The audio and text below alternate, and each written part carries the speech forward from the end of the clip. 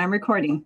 Okay, perfect. Okay, so if you're just joining us, Juliet Modero just uh, talked about women in science and introduced everybody in the that's in currently in the club, um, gave us a little wave, and then we have uh, quite a few other people joining us. So today our speaker um, is Ebony McClellan, and she is a pharmacist.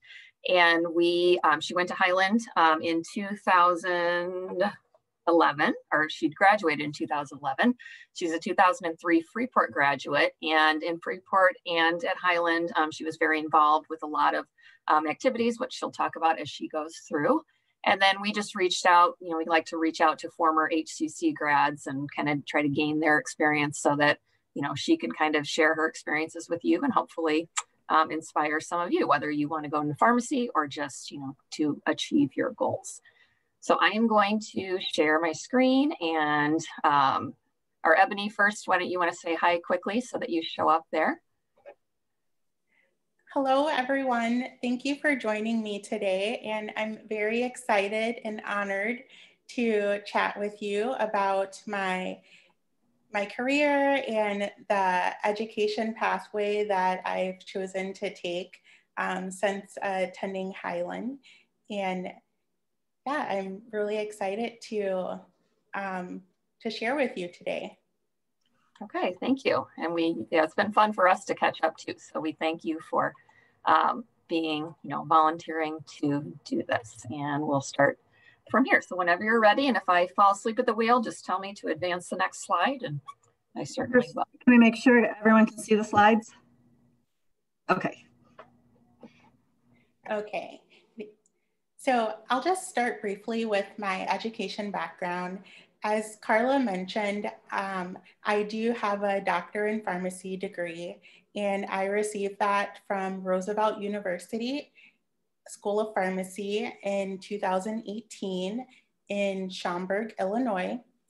I received my Associates of Applied Science with a focus in pre-pharmacy at Highland Community College in 2011 and I currently now have about 10 years in retail pharmacy um, from mostly from Walgreens Pharmacy. And I've also worked at Shopko Pharmacy as well.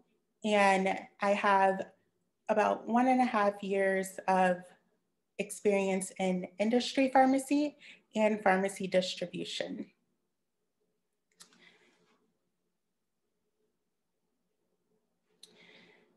So I heard that there may be some students from AVID or students who just graduated high school.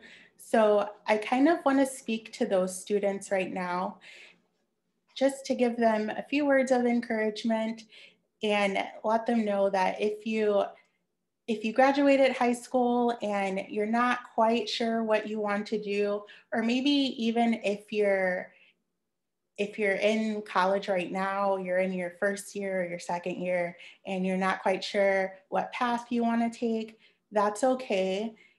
I am confident that Highland definitely has a course or a program for you.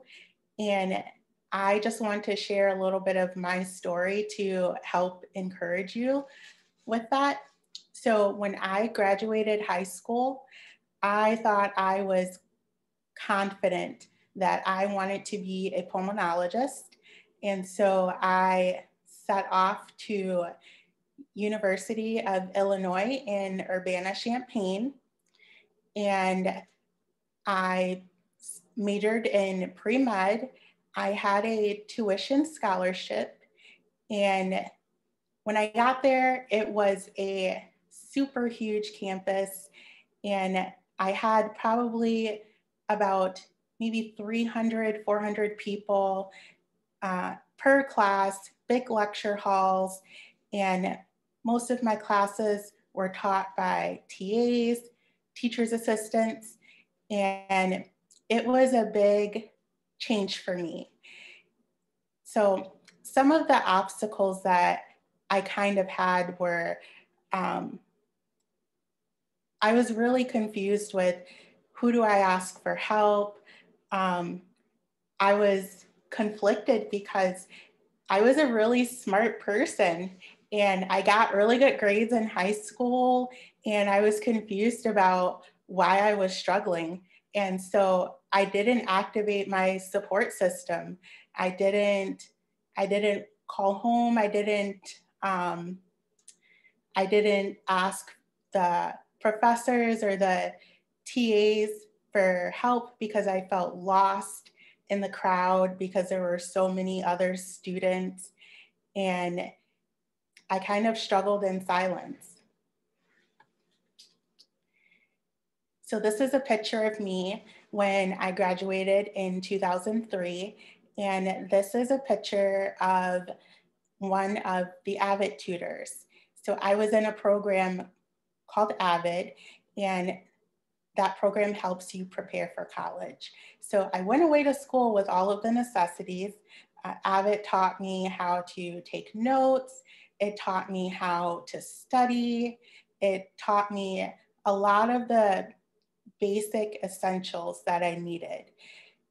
Um, the, the issue is just that I really felt lost in such a such a huge campus.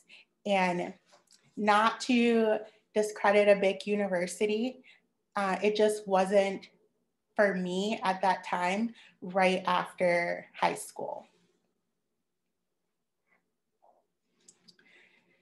So after my years at U of I, I realized I it was time to come home and kind of revamp what I wanted to do with my life. And I chose to come back to Highland. And honestly, that is where I got my roots. Highland will always be home to me. It definitely helped jumpstart my career in a major way. At Highland, I developed many invaluable connections. And it helped because Highland is a smaller size campus.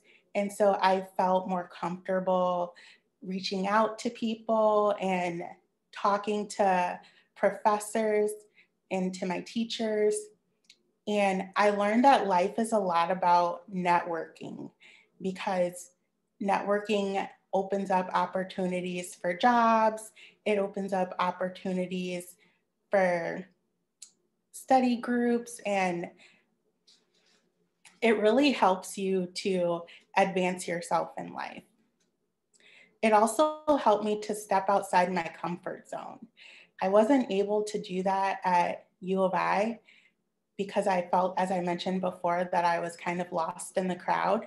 But when I got to Highland and I was in smaller groups, I was able to make friends in classes. I was able to reach out to those friends and I was able to grasp the material better. I was able to ask questions that I needed to ask, and I didn't feel embarrassed or, um, or like I, like I was asking a stupid question. And actually two of the people that I was able to connect with were speakers for your Women in Science Club, uh, Haley, who is a veterinarian, and Brittany, who is a doctor now. So it's kind of it's kind of really cool because um, those were connections that it's really neat to know that I made those connections years ago and to just to see where they are now where those people are now. So these are some of the organizations that I joined in Highland.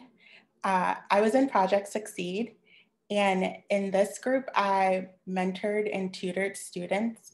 I was able to attend college conferences. This, and I also received strategies for success, and I was able to build a stronger support system. So the benefits of this is that it helped me to remember course information from past subjects because even though I may not have been in that particular course, I was constantly reviewing the information. Also, again, I was networking. I was meeting people. I was able to make those lifelong connections. And I'm still friends with some of the people that I tutored or mentored today that, and that was years ago in 2000, 10, 2011. It also helped me to build and increase my skill set for college and for my career. Because in college and in your career, you'll have to be able to work in a team setting. You'll have to be able to communicate and to explain information to your teammates, sometimes to your superiors, and in um, and in a in a valuable manner to get your point across. I was in the honors program, and um, in the honors program, I researched a topic of interest and I completed a project. And this taught me how to, um, it taught me deeper thinking, problem solving skills. Um, and this was really valuable because when I got to college, a lot of the homework that we got um, was based on that deeper level of thinking and problem solving and figuring things out by thinking outside of the box. And also at the bottom are some other organizations I was in. I was in National Physics Honor Society. I was in Phi Theta Kappa, and I was on the board of Student Senate. Just briefly, this was my honors program project. Juliet was the honors program director, and I did my project in microbiology because that was my favorite class at the time, and it still is. Um, the instructor was Karla, and I swabbed the nares, the noses of some teachers and advisors at Highland to see if they were carriers of Staph aureus. And after I did that, after I swabbed their noses, I um, put it on a, sorry, I lost my place. Um, I put it on the plate pictured and I incubated it for 24 to 48 hours and analyzed it to see who, who out of those people were carriers. And I do remember some of the teachers that were good sports and let me swab them. Um, I believe I did Anthony Sago, I did Mr. Mahina, and um, Mr. Sullivan. So they were really nice and let me do them. And this was one of this was one of my favorite projects that I did. I'll always remember it. Going into some of the benefits of Highland, as I mentioned before, those lifelong connections, the reason that they became so important to me throughout my my education career and my career itself as a pharmacist is because oftentimes I've needed letters of recommendation, whether it be for a job or an internship um, I've often reached out to my past advisors or teachers to help obtain those letters and also just continued opportunities to network. Um, sometimes my advisors from Highland or people that I've met at Highland, they've reached out to me and have you know, they have opportunities for me to participate in. And that's why it's so important to just always continue to build those strong connections in life. Another reason that Highland will always be um, will always be the foundation for my career is because I started there and all of my classes transferred just so easily. I originally transferred to a bigger university, actually. I transferred to University of Wisconsin because my plan was to do research. And um, every single class transferred. I had no issues with anything.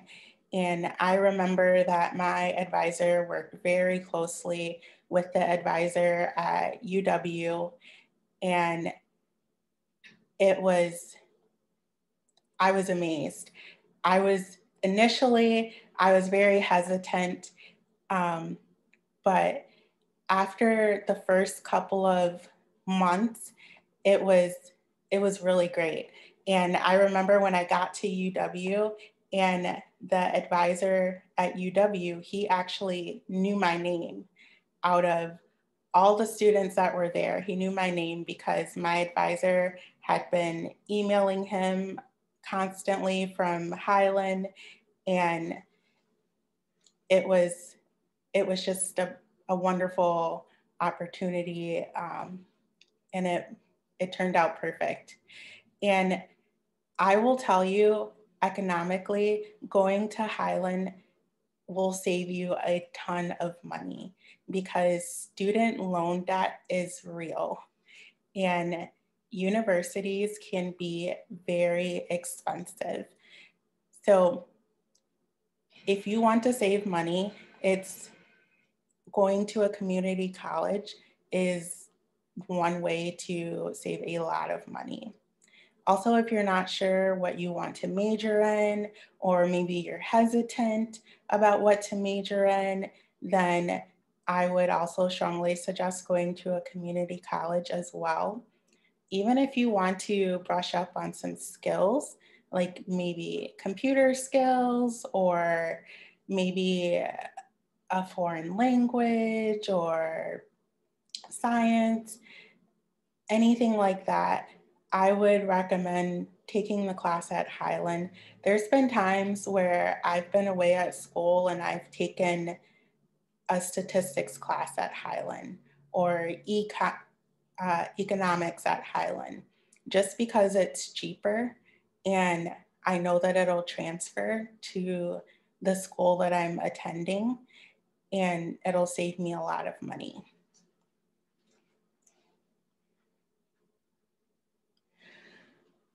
All right, so why pharmacy?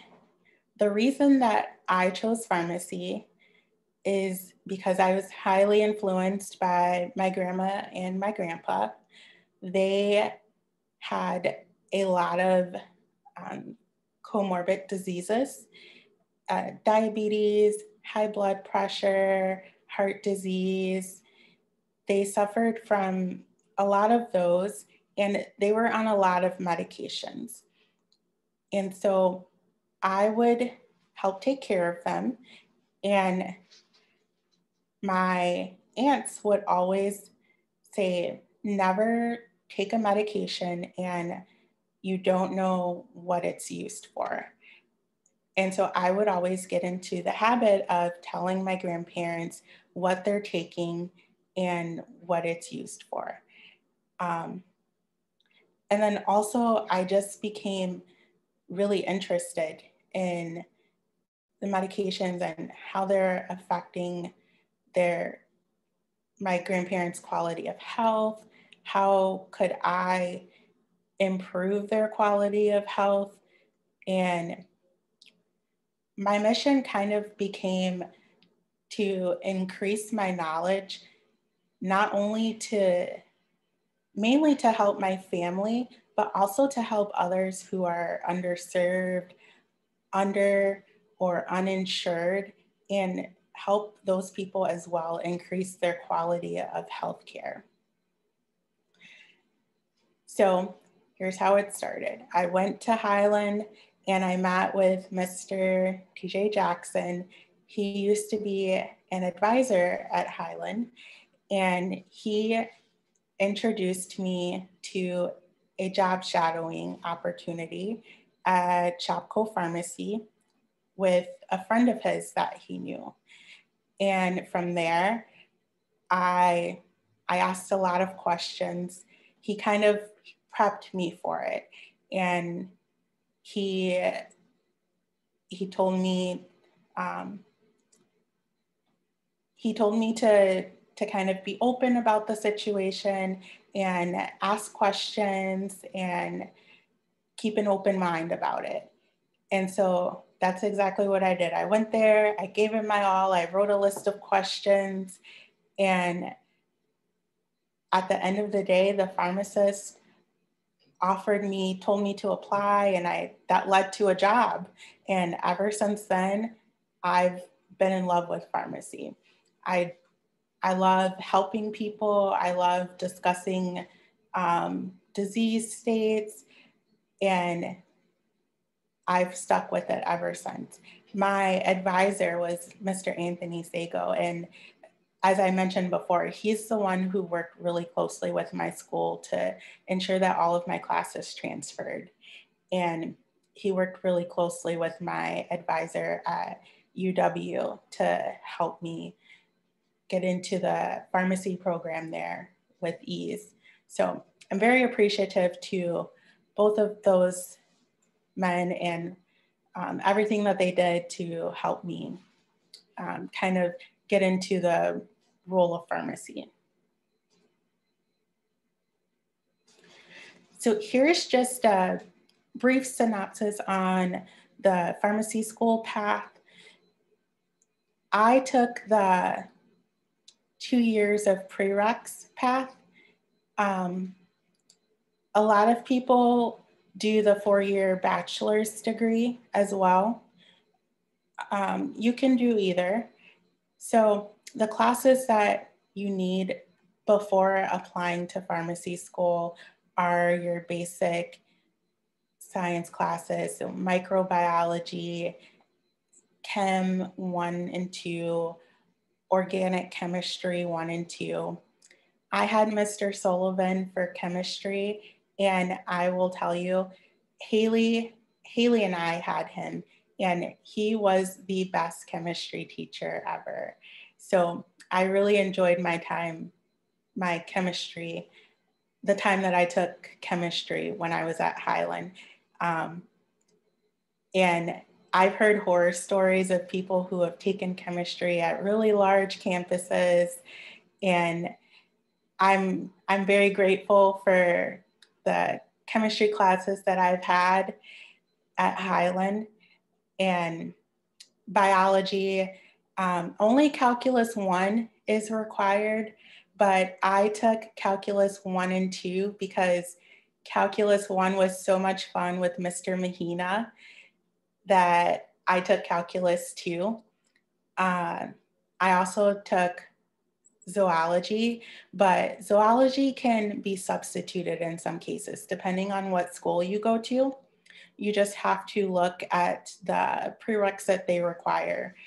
Um, and you can, yeah, some schools will let you take a different type of science. And then anatomy and physiology. And then once you get to pharmacy school, that's when your actual core work starts. So you'll take pharmacotherapy, and this is a class about how drugs work and affect the body.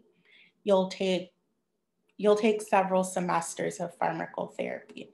You'll take medicinal chemistry, and this is chemistry based on the actual drugs itself.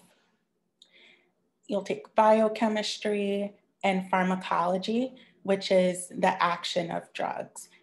So, for example, you'll learn all drugs that end in pril are for blood pressure.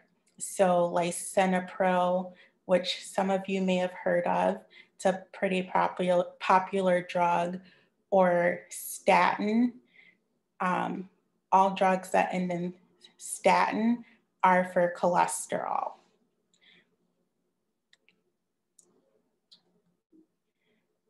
And then you'll also do rotations. So rotations are where you, they're hands-on experience in different healthcare settings. And You'll usually start this your second semester of pharmacy school, so first year, and you'll do it all four years of pharmacy school. And you'll have rotations in different settings. So it can be a clinic setting, it can be in an emergency room, it can be um, in a retail setting, it can be at a VA clinic. And I had, and the reason that you have your rotations in all of these different settings is because pharmacists can work in a variety of settings. So it's meant to prepare you to work wherever you choose to have your career path.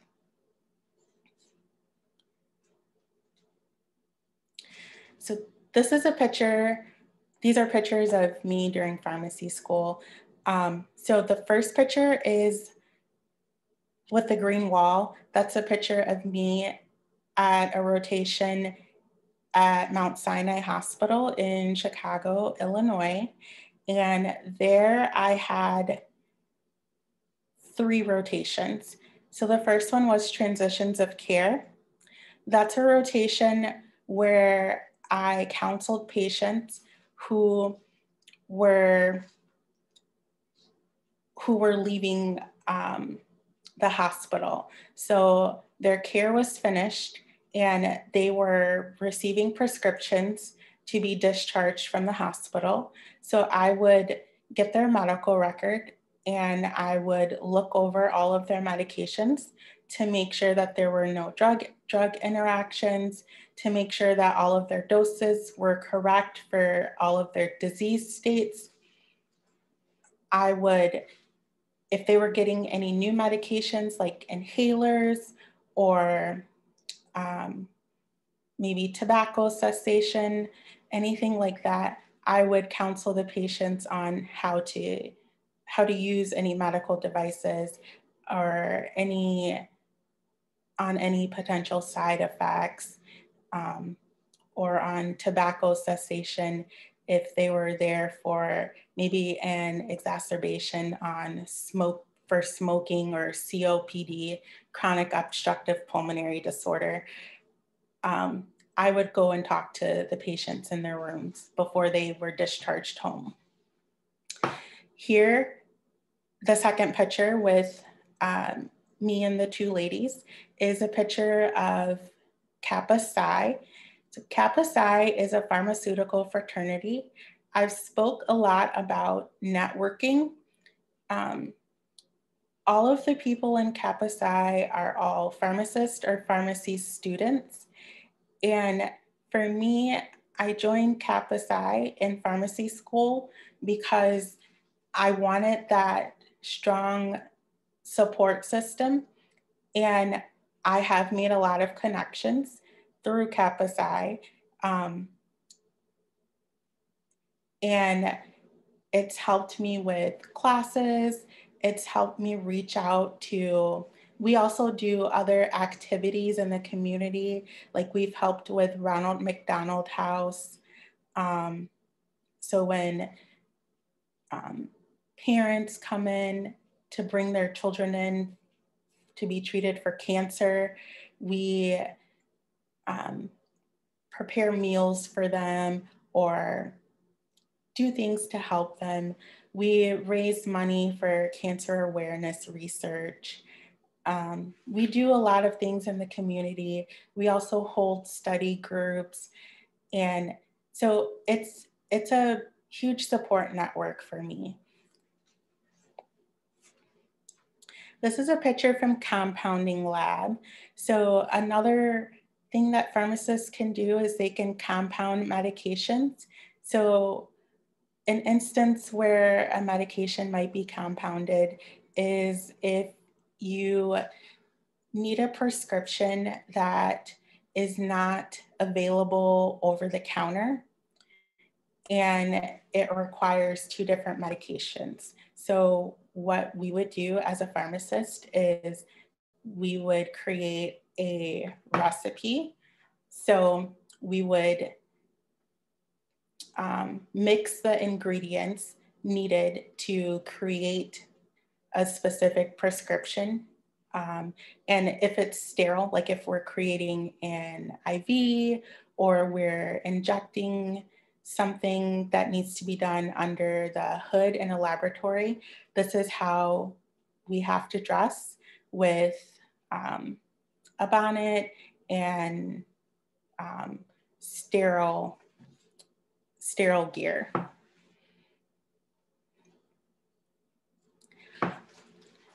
So what does a pharmacist do? There's a lot of people who are unsure what duties a pharmacist actually does. I know people see pharmacists at Walgreens and they think that sometimes pharmacists just throw pills in a bottle or they kind of just type things on a computer.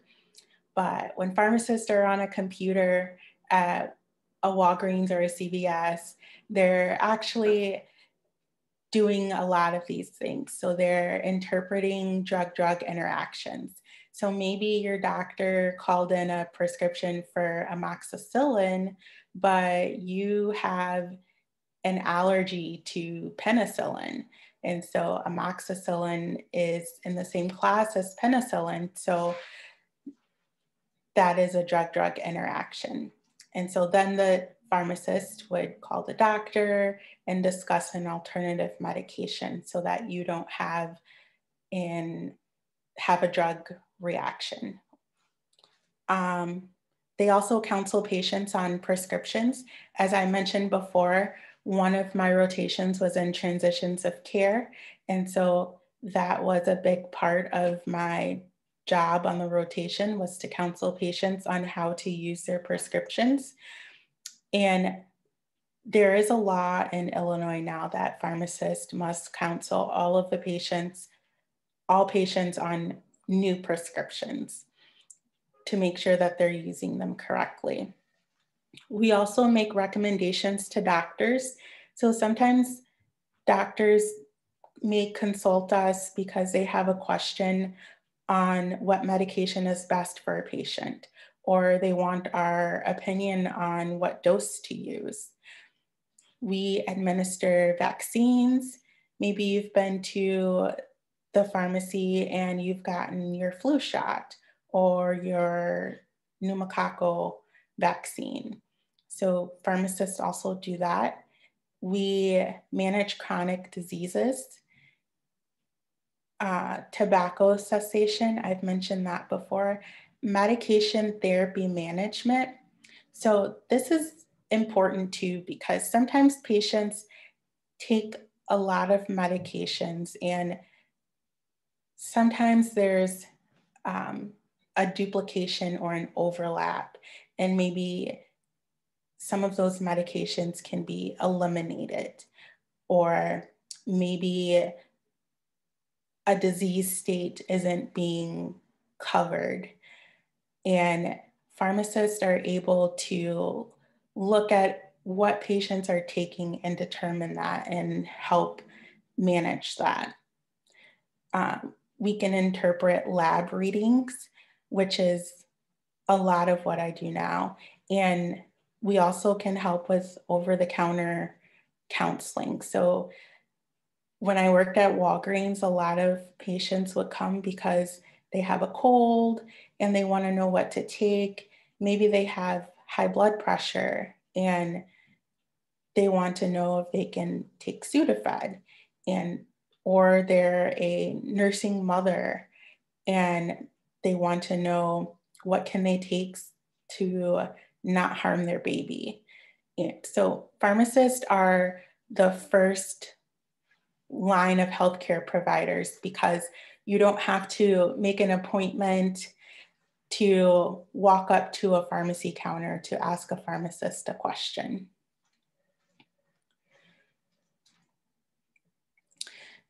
So these are all the different types of careers that pharmacists can have. They can teach in academics, they can be the type of pharmacist that a lot of people are familiar with. So they can work in a hospital or a retail setting. Um, they can have a government job, so they can work with the DEA um, with controlled substances. Um, they can do research, which is what I wanted to do at a point in time. They can work with pharmacovigilance, which I just want to point this out in case someone doesn't know exactly what this is. So they can um, prevent different diseases from occurring and spreading or help control certain diseases. Um, so right now I am in pharmacy industry and I work in the quality assurance area. You can also you can also have like a bachelor a, a bachelor of pharmacy, which up until maybe 10, 15 years ago, you only needed a bachelor of pharmacy to be a pharmacist, but now it's a doctorate degree. And some people even get a master of pharmacy.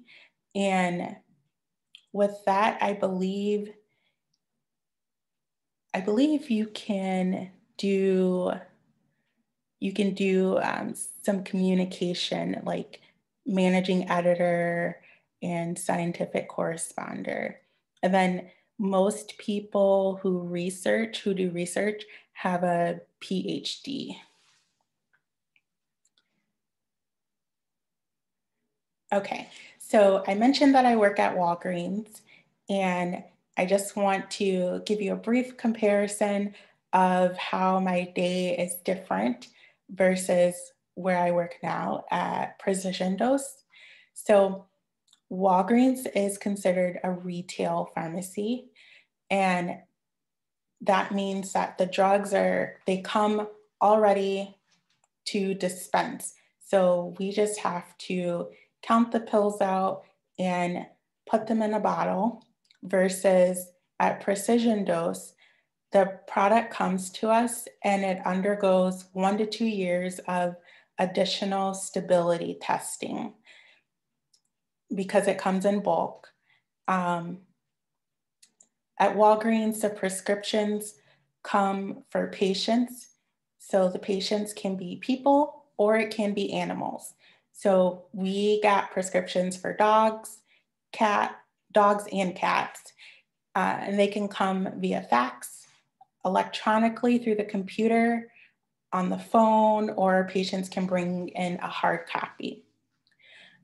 The staff interaction at Walgreens was more varied. It could be with doctors, nurses, um, other healthcare providers, and it was definitely more of a fast paced environment because you're constantly um, you're constantly filling prescriptions, you're constantly checking for drug interactions or speaking with a doctor. At Precision Dose, it it's more of an office setting. And um, as I mentioned, we do stability testing um, to extend expiry dating because we repackage for pharmacy and patient use into unit dose cups and pre-filled syringes. And then once it's repackaged, the bulk product um, goes out to hospitals and retail pharmacies. So now I kind of work on the other end of the spectrum. Um, in the staff interaction, I work mainly with the labs and directors my other and my other colleagues. And it's more independent work in an office setting as i mentioned.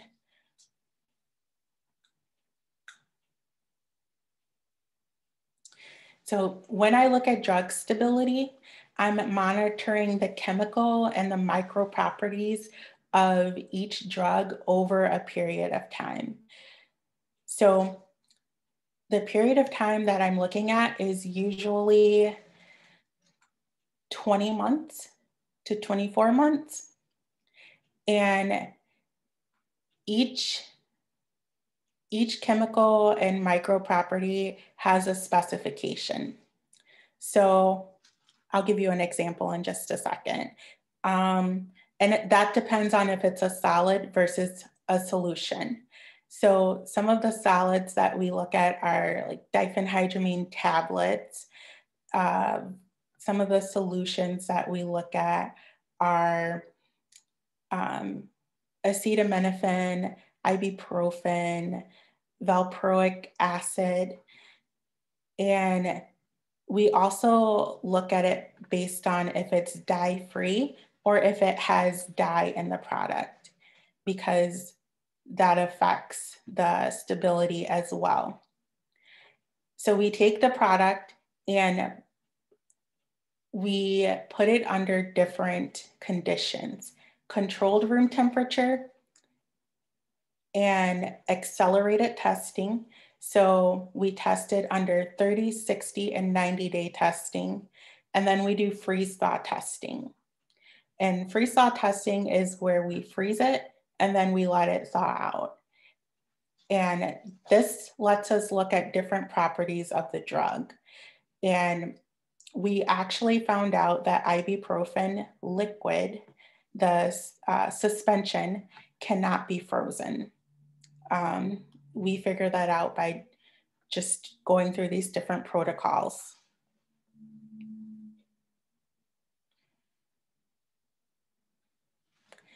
So the chemical properties that I look at are ID identification, um, the appearance, color, odor, pH, the degradation products. So we have a mouthwash called, um, it's an antiseptic mouthwash. It's called chlorhexidine and it breaks down into a lot of different degradation products. Um, some of those can be active and that affects how the drug works, and some are inactive. So we look at both active and inactive. We look at uniformity of dosage. So that it that is if you pour a medication in a cup and you drink the medication out the cup, how much is left in the cup? So is the patient getting the proper amount out of the cup? Um, and that has a lot to do with viscosity as well. And then as far as micro, the main organisms that we look at are E. coli, salmonella. We don't want any of that in the product. We look at total plate count in yeast and mold. And when I mentioned specification, uh, the in parentheses, that's the specification that we want for those two. We want it to be less than 100 and we want it to be less than 10 for yeast and mold. And so the lab will actually send back, once it once the lab tests it, it'll send back a specific specification. It'll say like maybe 0.1 colony forming units per mil, or it'll say absent.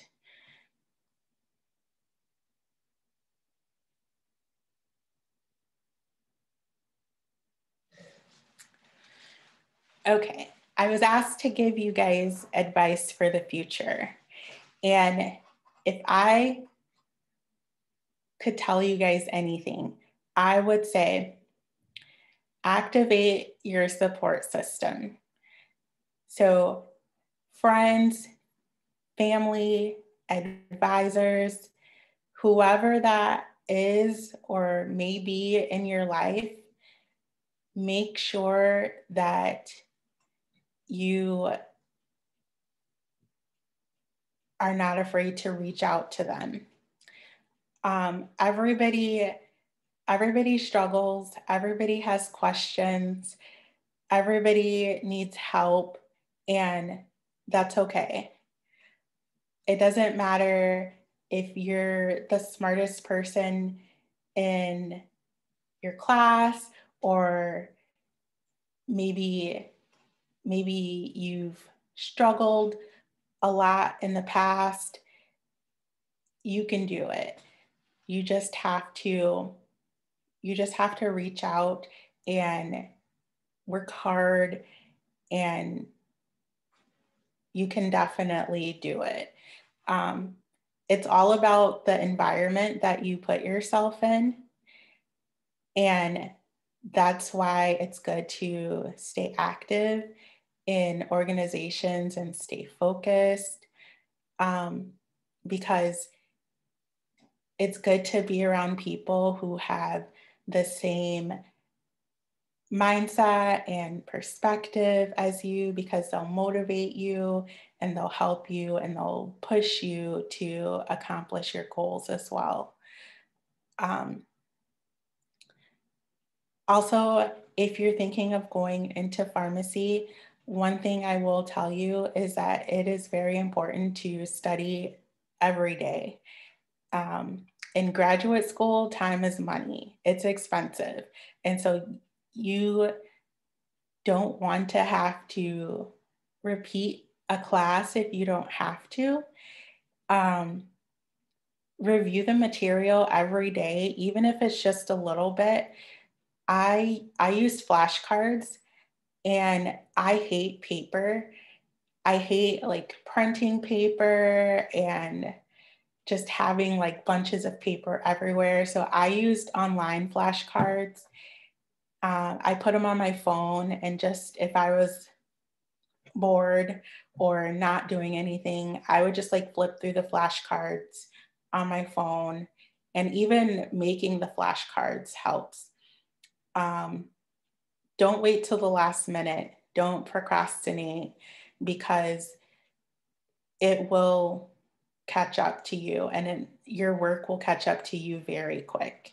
And so it's this is just just remember that this is just a small chunk of your life and just focus and do your best, get through this time and then you'll have the rest of your time to you know make what you want to out of your life but for this time that you're in college try to try to stay focused try to study every day review the material and eh, keep your mind focused and network and join organizations to help support you All right, thank you for your time. Do you guys have any questions for me?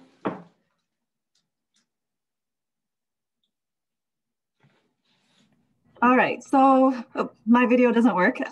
um, so you can either show me that you, I'm gonna try to make it to grid. I think I can stop spotlighting. Um, so you can either press uh, wave or type your question into the chat and um, that way you can actually also we can somehow give her a round of applause. Um, i don't know how else other than to either just show and certainly write your comments because i think we can print these comments for her uh, to show how what you learned and what you enjoyed. Um, but yeah i'll i'll try to figure out how to unmute when you have a question and otherwise put it in the chat because i'm really nervous to unmute everyone because i think i might get loud. As long as you don't talk maybe it's okay. So let me figure this out. I'm behind the scenes All right, you should be able to unmute yourself when you're ready for a question. Otherwise, um, before you leave too, thank you for coming. Um, we learned a lot, uh, so I'll let you have any questions too if you want to say anything. Or say hi to Ebony. yeah, I'll, uh, like okay. yeah, I'll chime in. Ebony, I, I don't know if you remember me or not. It's been about 10 years. Uh, but I loved Ebony talking about building a network while on campus. Uh, she and I actually graduated together in 2011. Uh, so it's good to see you. Thank you for being here. Uh, I'd love to hear a little bit about um, uh, future endeavors. Where are you really thinking right now? You're in a good spot, and, and where might you hope to go? Are, are, you thinking you stay in the Rockford area in, in Northern Illinois? Are you open to go uh, beyond and, and elsewhere, or, or what is maybe your vision for the future?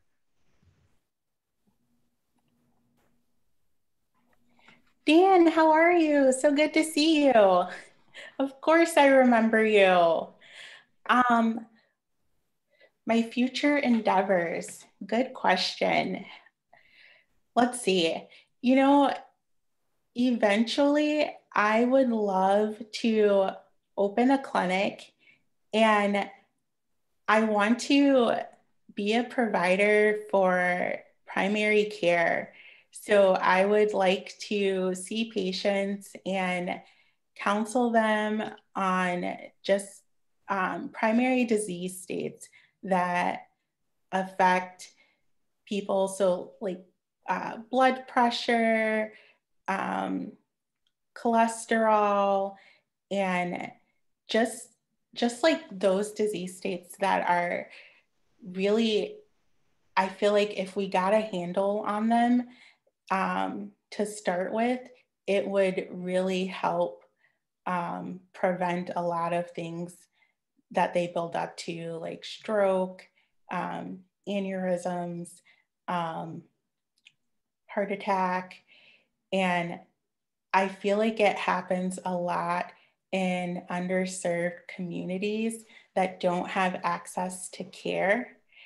Um, and I feel like sometimes the trust and the rapport isn't in those communities. So I'm hoping to kind of find a niche where I'm able to reestablish that that trust between um, with a healthcare provider and in those communities to maybe lower the rate of those primary disease states. Awesome. That sounds very cool. Thank you. We have another question from, uh, oh, there goes value. Maybe I can't do both at the same time. Um, Emily is asking, what influenced you to switch from Walgreens to Precision Dose? What made me switch from Walgreens to Precision Dose? Yes. So that's a very good question. Um, I worked for Walgreens for a really long time and I wanted to be in a different setting and I felt like it was time to learn something new so I decided to switch my switch my career path and now I'm learning something new that is completely different um, than anything I've experienced um, besides uh, what I've learned in pharmacy school. So it's, yeah, it's definitely a new journey for me. So I'm excited. I like to step outside my comfort zone, um, like I mentioned. And yeah, it's been an awesome experience so far, building new connections and learning about. Uh, in, in pharmacy school, they teach you so much, but when you when you get a career in one thing, it's like you only practice that particular thing so at Walgreens, I was counseling patients and I was doing drug interactions, but I wasn't really using my science and my chemistry and my micro side. So now I'm getting to apply that. Okay, feel free to unmute yourself and ask a question or just simply say a comment, but um, we have time for a few more or in the chat. Hi, Ebony. John Sullivan. Hi, Mr. Sullivan. How are oh, you? It's great to see you. Uh, great talk, too. Really interesting. Now, uh, I don't know if you remember, but I can be a little bit stingy. Uh, and I was wondering what happens to these drugs that you put through stability testing that go bad. I mean, it seems like, so say half goes bad. That means half is still good uh, can't we just double the dose? Hmm. Okay, so double the dose. So you're saying if I have a sample and half of it does not meet the stability specification, can I just double the dose? Uh, no, because, you know, it, it would save a lot of money and a lot of waste, but unfortunately we can't because it the whole the whole product has to has to meet stability specifications And so when one, when a sample doesn't meet stability specifications, then we have to do an investigation. We have to find out, we have to do more testing to see why it didn't meet stability specifications. And then we have to write a formal report and contact the FDA and then it, it's like a long process. So unfortunately, we can't. I figured it wasn't a real good idea, but it just occurred to me. Thanks. Good question. Hi, Ebony. Connie Taylor here. So, Hello, Mrs. Taylor. Taylor. How are you? I am great. And you? Good. So good to see you. Thank you. It's just good to hear what happens to the AVID students after they leave FHS and go on to college, and in your case, go on to uh, graduate school. So, um, one of the comments that that struck me was when you talked about the benefit for mentoring and tutoring. It kept you sharp in your skill something you may have taken, you know, years ago, but now you have to brush up in that uh, in that subject in order to tutor uh, and then also to mentor students to uh, be on a successful path.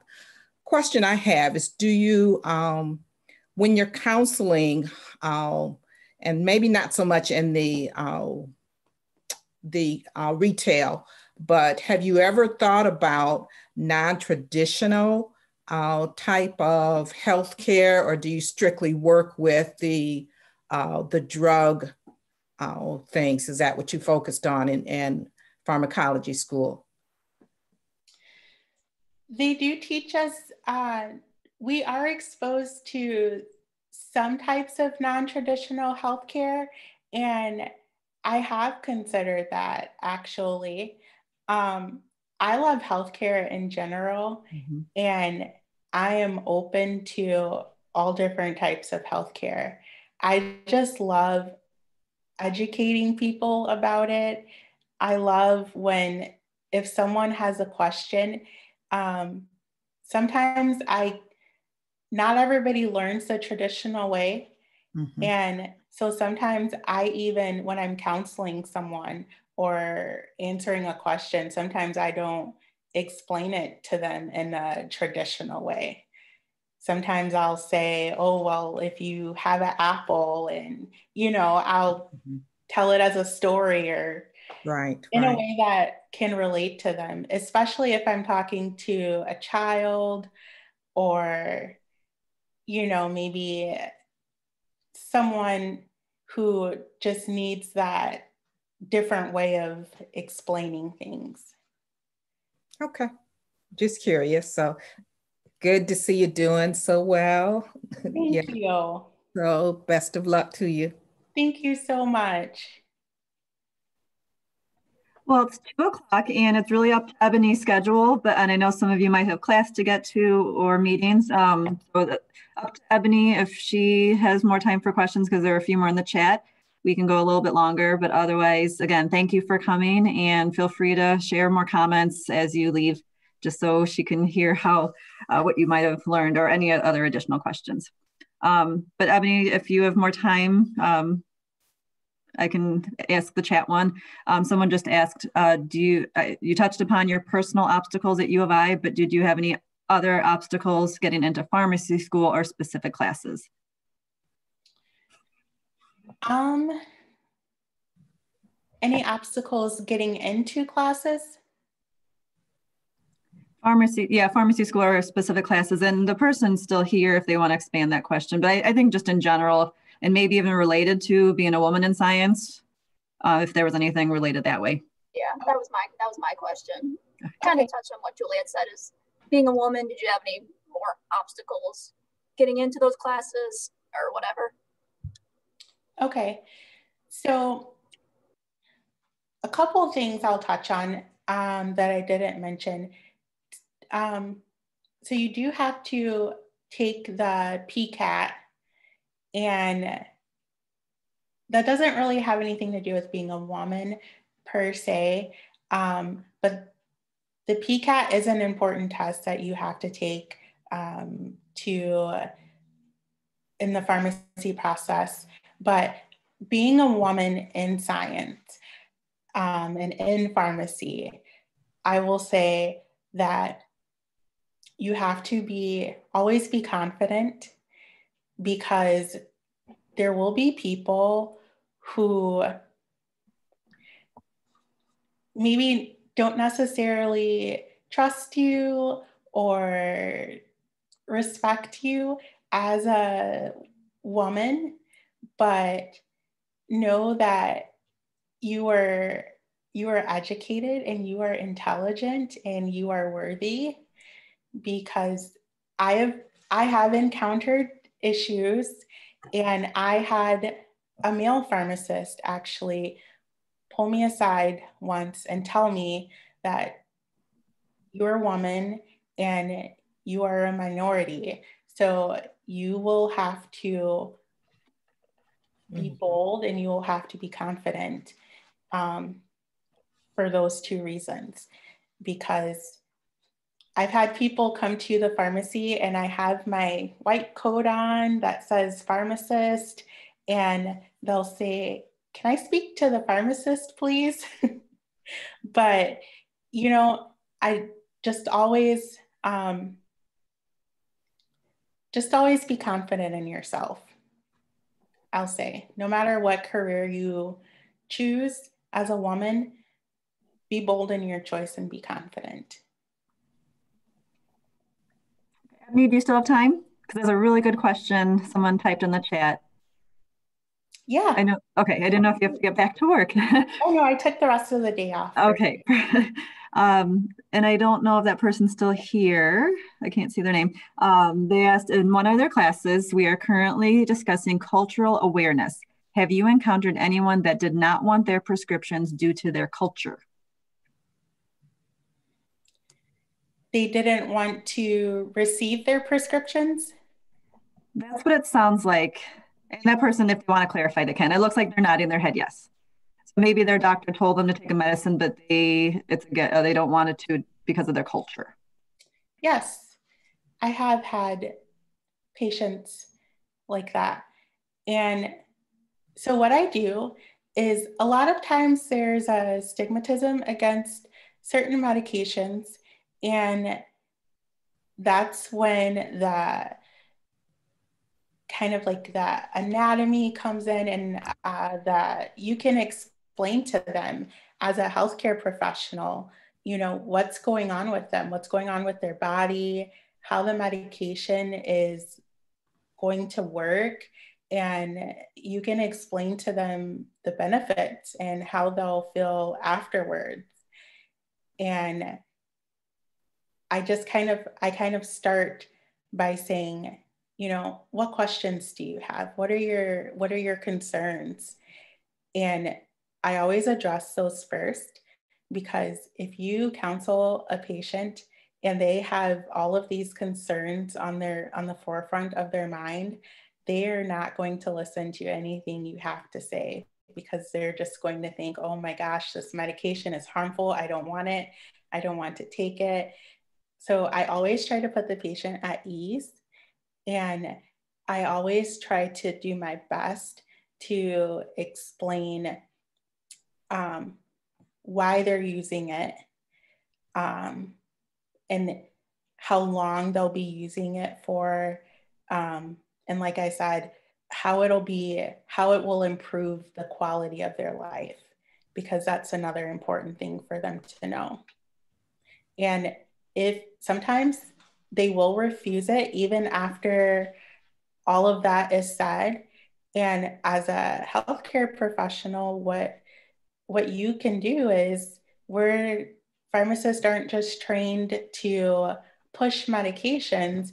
You can also give them non-traditional suggestions or um, or you know you can give them suggestions that doesn't that don't, doesn't involve medications.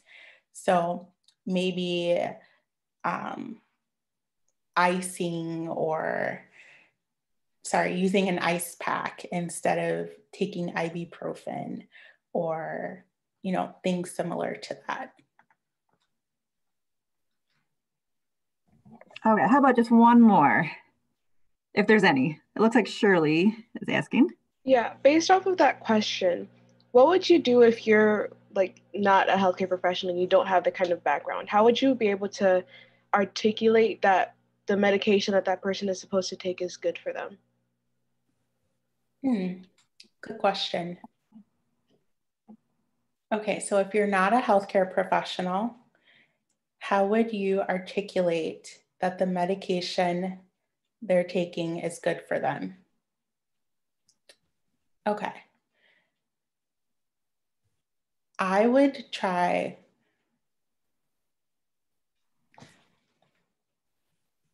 I would try to emphasize the rapport that you have with the patient and I would try to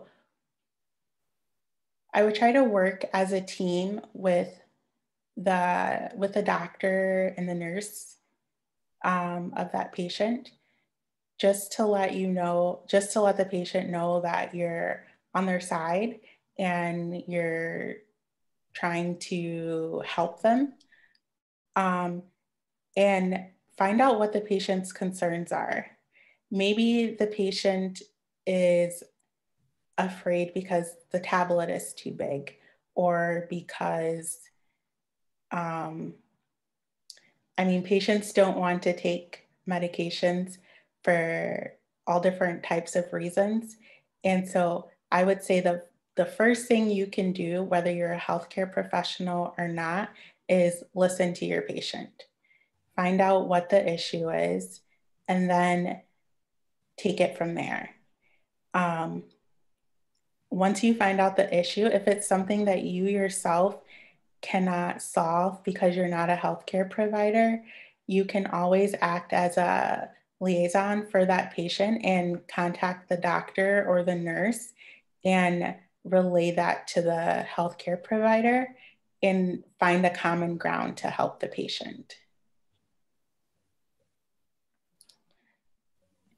Okay, so um, we will stop recording. We'll end the formal part, but anyone who wants to stick around just to talk to her, um, that's fine. Otherwise, uh, if Karla wants to say anything, we'll just we'll just sit and chat. um, but we don't want to take too much of your time. Right. Thank you, Ebony. It was so much fun to hear, and it was